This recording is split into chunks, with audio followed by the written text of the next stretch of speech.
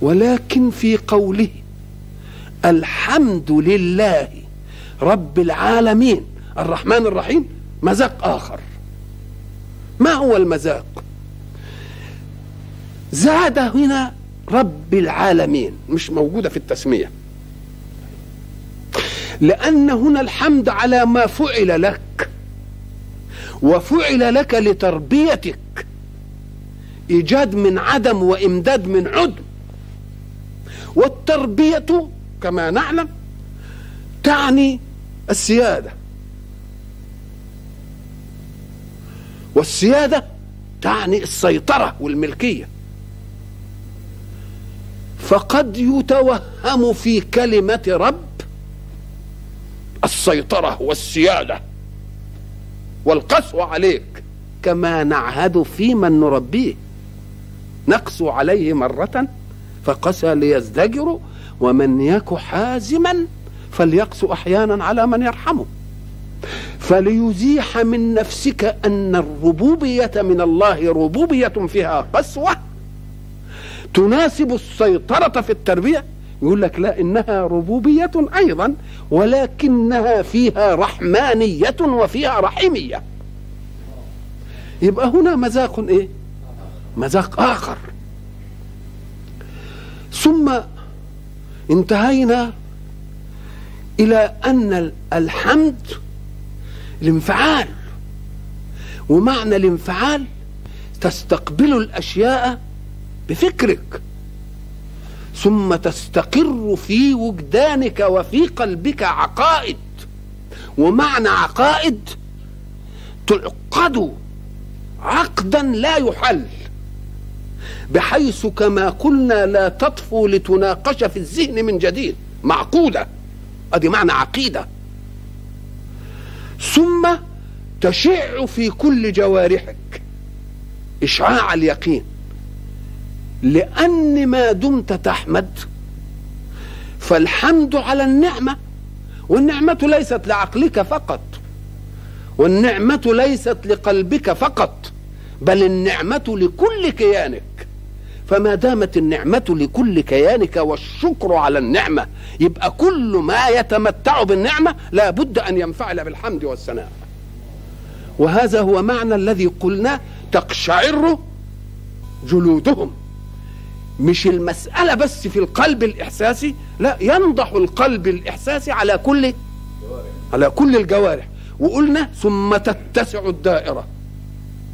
حين تتسع الدائرة من جوارحك وكيانك وذاتك إلى خارجك تكون حركة الحياة حولك منفعلة بما استقر في ذهنك واستقر في عقيدتك على منهج الله.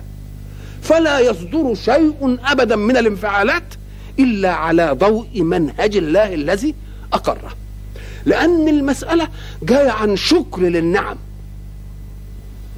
الانفعالات في النفس حين يتعرض لها الشعراء يتعرضون إن محلها القلب. ولذلك الشعراء لما يحبوا يصوروا لنا هذا المعنى هناخد منهم تصويره في معنى الحب. ولنطرح اختلافنا في المحبوب. هناخد معنى الحب. إنما بلاش هو حب سعدة حب مي حب ليلى حب إنما إحنا هناخد انفعال إيه؟ الحب وليختلف المحبوب عند الشعراء وعند الأصفياء. يبقى ده له محبوب وده له محبوب. إنما الانفعال يكون واحد. فلما جم عشان يصوروا هذه الانفعالات يجي مثلا واحد يقول للمحبوبة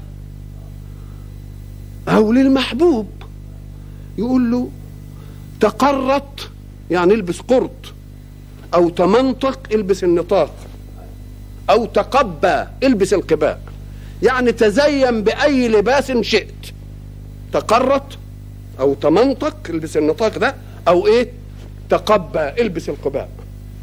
فلن تزداد عندي قط حبا. بيقول للحبيبه مش هتزداد يعني اعمل ما شئت فلن تزداد عندي قط حبه. ليه؟ لماذا؟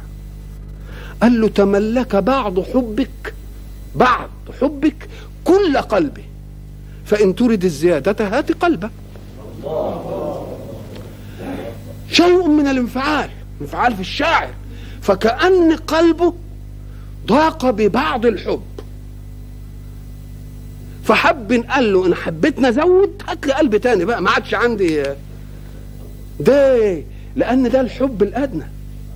الحب الأعلى مش هيبقى في القلب ده بس مش عايز قلب جديد بل يشيع ما في قلبه على بقية جوارحه. وتبقى كلها كي شاعر تاني أدق شوية وحب يدينا المعنى ده مش عايز قلب ولا حاجة لا أنا أشيع قال له خطرات ذكرك بيقول الحبيب طبعا خطرات إيه؟ ذكرك تستثير مودتي فأحس منها في الفؤاد دبيبة. لا عضو لي. شوف لا عضو لي إلا وفيه صبابة فكأن أعضائي خلقن قلوبا. ادي الإشاعات. ادي الإشاعات. يجي مثلا شاعر يقول قلبي مثلا انفعل بالإيه؟ بالحب. وبعدين انفعلت ففاضت دموع عيني مثلا. يقوم يديني جيئة القلب وذهاب القلب وواجيب القلب. شوقي رحمة الله عليه لما قال إيه القصيدة اللي بتغنيها أم كلثوم؟ ولي بين الضلوع دم ولحم. ده كلام صح. هما الواهي الذي ثكل الشباب. مش كده؟ تسرب في الدموع قلبه. تسرب في الدموع فقلت ولا ما عادش ليا قلب. وصفق في الضلوع فقلت آبى. انفعال يشيع ثم يعود الانفعال من جديد. ما دام الانفعالات دي بتيجي كده تعمل القشعريرة دي يبقى هو ده الحمد. يبقى يجي العقل وبعدين القلب وبعدين يشيع على الجوارح وبعدين يشيع في الايه؟ في الكون. لما إشعاعات قلبي الحمدية تشيع على جوارحي كلها وجوارحي تشيع على حركة أعمال البعيدة عني فيبقى لي دائرة من الإشعاعات وغيري من إخوان المؤمنين له دائرة من الإشعاعات. يبقى تلتحم إشعاعات الورود الحمدية على القلوب جميعها. وما دام يبقى عندنا كرس حمد يبقى الوجود كله إيه؟ كله حامد. حين يشغل الوجود كله بالحمد لا يجد الله كفاء له إلا أن يزيده تصديقا لوعده لئن شكرتم لأزيدنكم. في الحمد قلنا إن مستوجباته إما الفضائل في الذات شيء فاضل في ذاته فبيستحق أن تحمده. وشيء له ف... له ف... له ف... فضائل عليك. له فضائل عليك. فللذات الحمد لله ذاته تستحق أن تحمد.